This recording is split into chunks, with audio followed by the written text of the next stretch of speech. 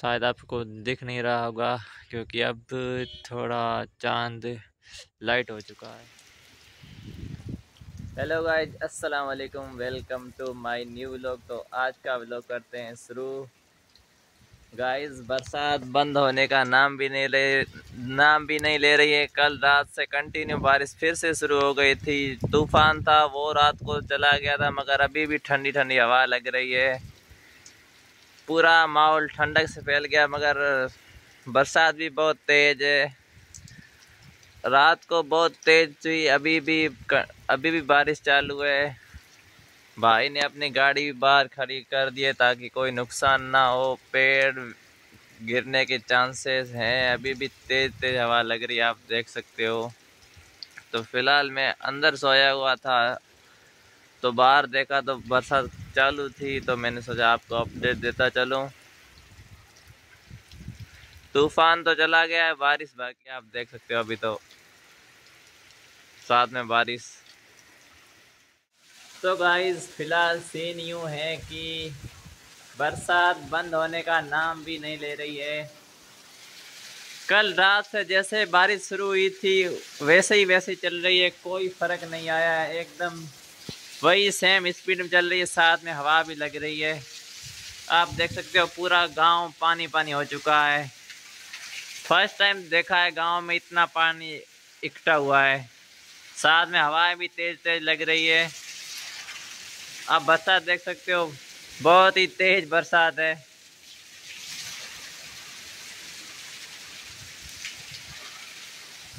अल्लाह रहम करे, बहुत तेज बारिश है। कोई इंसान जानवर घर से बाहर नहीं निकल रहे बस बैठे हैं घर के अंदर। लाइट भी नहीं है, कुछ बिजली खंबे गिर गए थे, तारें टूट गई थी तो बहुत दिक्कत वाली बात है।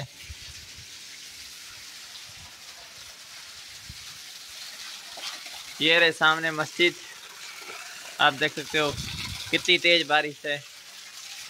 गाँव पूरा पानी से भर चुका है।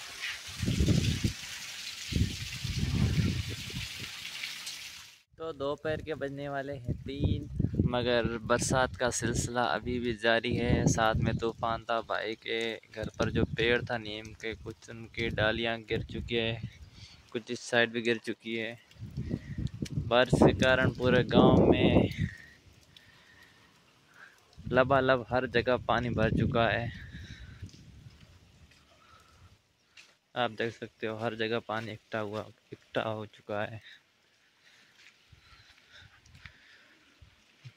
हर गली से गुजरना मुश्किल हो गया है, इतना पानी भर चुका है।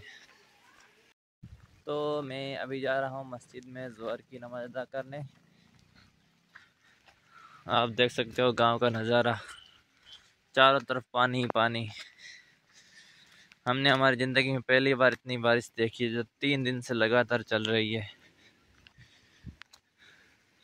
हर जगह पानी इकट्ठा पड़ा है। तो अभी जाते हैं मस्जिद में। और नमाज़ अदा करते हैं जोहर की। मस्जिद मस्जिद के अंदर भी पानी इकट्ठा हो चुका है।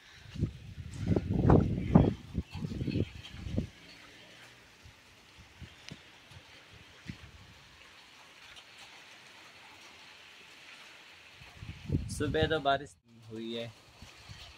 हर जगह पानी पानी।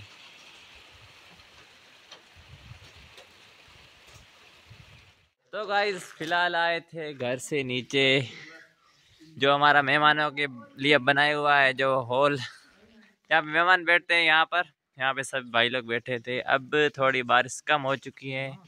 यहाँ पे सेल्फी फ़ोटो से निकाले जा रहे हैं मेमोरीज के लिए। कुछ भाई लोग यहाँ बैठे हैं। कुछ यहाँ पर स्नेप बना रहे हैं। अब जाके बरसात काफ़ी घंटों के बाद जाके बंद हुई है, नहीं तो पूरा दिन कंटिन्यू बारिश चली तो गाँव में पूरा पानी भर चुका है।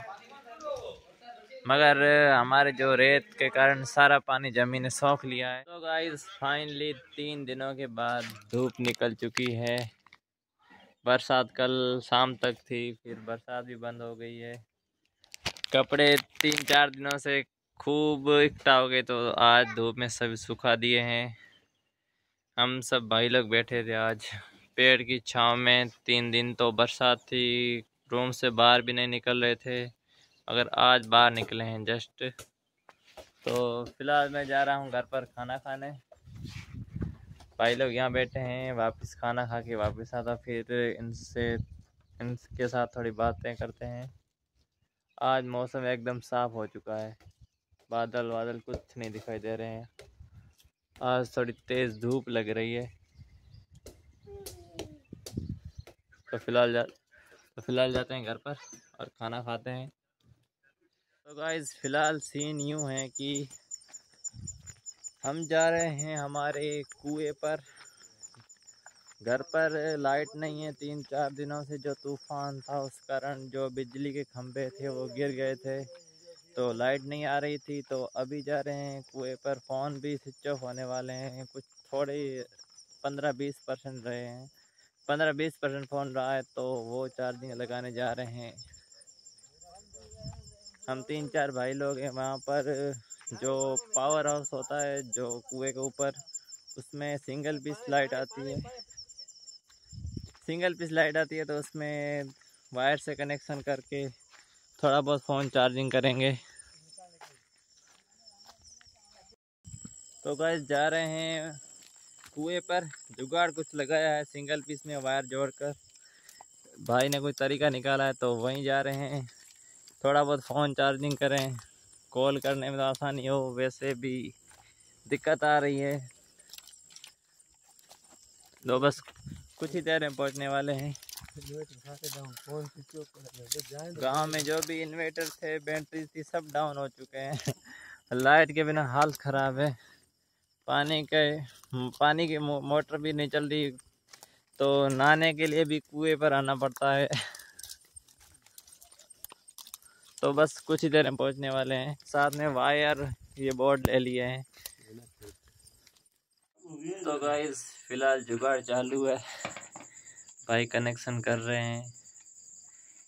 एक साइड इस बोर्ड के अंदर लगाएँगे, दूसरा साइड लाइट के अंदर फिट करेंगे। बीस वोल्टेज की लाइट है समथिंग तो बस कनेक्शन और फिर लगाते हैं मोबाइल चार्जिंग पर। पूरे दिन से फ़ोन स्विच ऑफ़ था, पूरा दिन बिना फ़ोन के चलाया। हमें पता है कैसा दिन गुजरा हमारा बिना फ़ोन के। तो अब जुगाड़ किया जा रहा है बस यही दुआ करते हैं जुगाड़ काम आ जाए। तो फाइनली कनेक्शन तो हो गया है बस अब वायर लगाना बाकी है। फाइनली कामयाब हो चुके हैं मोबाइल चार्जिंग शुरू हो चुके हैं। आप देख सकते हो भाइयों के चेहरे पे खुशी एक अलग ही लेवल पर है। टू परसेंट ब्रो तो हम अब बाहर वेट कर रहे हैं अंदर गर्मी है। तो यहाँ पर अब वेट करेंगे। पचास साठ परसेंट हो जाए चार्जिंग फिर जाते हैं घर पर। मेरा भी फ़ोन बंद होने वाला मैं थोड़ा लगाऊँगा दस पंद्रह मिनट। तो अब यहाँ पे करते हैं इंतज़ार और थोड़ी करते हैं बातें। तो गाइस फ़ोन चार्जिंग हो चुके हैं सौ सौ परसेंट फुल चार्ज हो चुके हैं। अब जा रहे हैं घर पर। हमारा जुगाड़ काम आ गया। जो सिंगल पीस पे फ़ोन चार्जिंग का आइडिया था वो कामयाब कामयाबी के साथ कामयाब हो गया। तो फाइनली अब जा रहे हैं वापस घर पर। अब आ रही है नींद, रात के बजने वाले हैं बारह। तो अब जाते हैं घर पर। अब जाएँगे, अब घर जाके सीधा ही सो जाएँगे और तो कोई नहीं। फ़ोन अब कल चलाएँगे क्योंकि अब ही चलाए तो फिर से डाउन हो जाएगा मोबाइल कल तो वैसे भी कहा लाइट आ जाएगी। देखते हैं, नहीं आए तो वापस आ जाएँगे यहाँ पर। फिर लगा लेंगे फ़ोन चार्जिंग अब हमारे पास जो जुगाड़ पड़ा है इस चीज़ का तो अभी जाते हैं घर पर और आराम करते हैं। आज पूरे दिन लाइट की भागा दौड़ी में थक गए थे। मॉर्निंग गाइस तो फ़िलहाल जा रहे हैं पास के विलेज में क्रिकेट टूर्नामेंट है। तो हमारे गाँव की टीम तो भाई का कॉल आया था कि क्रिकेट खेलना है तो वहीं जा रहे हैं। सामने रही गाड़ी कुछ भाई लोग आ चुके हैं, कुछ अभी आना बाकी है तो जाते हैं और क्रिकेट खेल के आते हैं। वैसे भी ज़्यादातर बोर हो रहे थे तो अस्सलाम वालेकुम। तो आप सभी को माह जुलहज का चाँद मुबारक हो इन अब दस दिनों बाद ईद अज़ी की नमाज़ अदा की जाएगी। तो आज थी जिलकात महीने की लास्ट तारीख। तो जुलहज का चाँद नज़र आ चुका है। तो आप सभी को एडवांस ईद मुबारक। तो फ़िलहाल मैं आया हुआ था नीचे। यहाँ कुछ भाई लोग बैठे थे। तो उनतीस जून को ईद अजी की नमाज़ अदा की जाएगी।